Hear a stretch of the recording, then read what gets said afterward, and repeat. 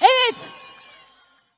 Mersinler özel bireyler için Özgecan Aslan Meydanı'nda ücretsiz olarak düzenlenen 1. Akdeniz Rap Festivali'nde ünlü rap sanatçıları Canbay Volker, Velet ve Batuhan Şaraplı konseriyle coştu.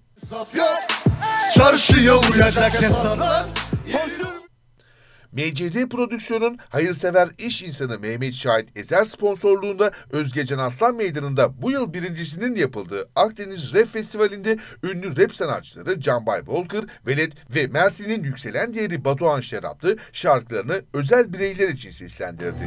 Gece yatak odana. Sosyal sorumluluk bilinciyle sevgi evlerinde yaşayan, onkoloji hastanelerinde tedavi gören, görme ve bedensel engelli bireylerimiz ve rehabilitasyon merkezlerinde kalan çocuk ve gençlerin talepleri üzerine topluma adaptasyonları amacıyla hayata geçirilen festivalde 7'den 70'e tüm Mersinliler unutulmaz bir gece yaşadı.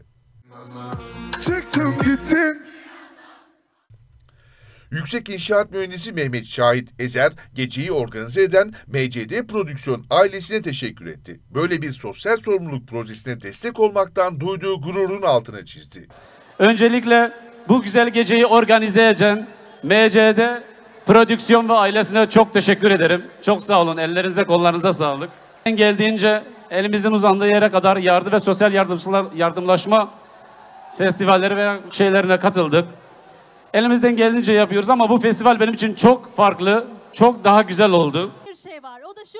Çocuklar birbirinizi atmayın. Yere düşeceksiniz kuzucuğum.